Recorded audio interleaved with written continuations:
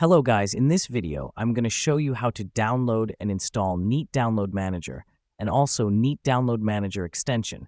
So let's get into the video.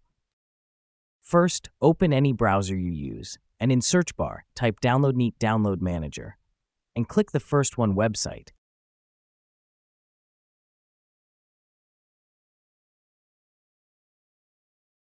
Click Download and it will download the Neat Download Manager.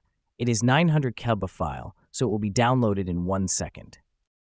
Now open it and follow my all steps to install.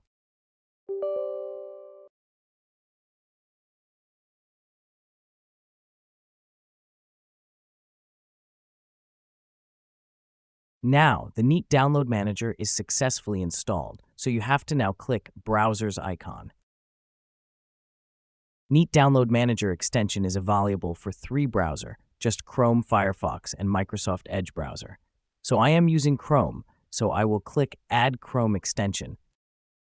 This page will be open now. You have to click Add to Chrome, and then the extension will be added to Chrome.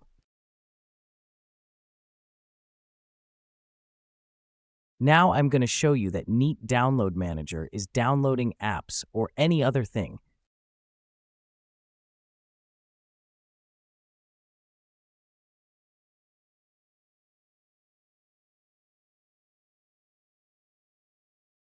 As you can see that Ubuntu ISO file is downloading with Neat Download Manager.